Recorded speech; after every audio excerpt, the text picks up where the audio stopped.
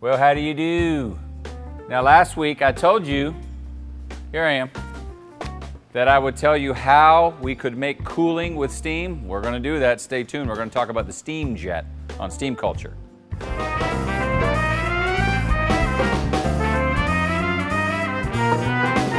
All right, so I got on the Google, did some homework about how they cooled these rail cars. Now, initially, they brought these huge blocks of ice in, set them up under the cars in refrigerated blocks, and blew a fan over it and just blew the cold air into the rail cars. They also had a very successful system, which is the subject of today's steam culture, called steam injection system.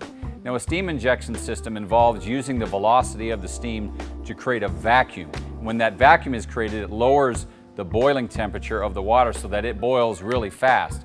So as the steam comes through quickly, lowers the pressure, it boils off the water and it leaves you with basically 50 degree water. That water was then pumped to a coil, just like a regular HVAC system, and it would blow cold air through. Now, the water that was in the system would come back and it would go through that process all over again.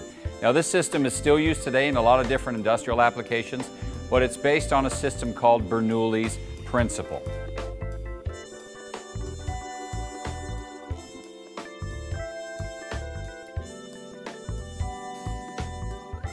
So there you have it, the steam injection system showing how we use steam to heat rail cars, but we also used it to cool it. So go out and Google steam injection system. I think you'll find it interesting. Lots of application in today's uh, working industrial world. So thanks for joining me this week on Steam Culture. Join me next week. I have something for you. Come find us on social media because we know that we're everywhere. I will see you next Friday.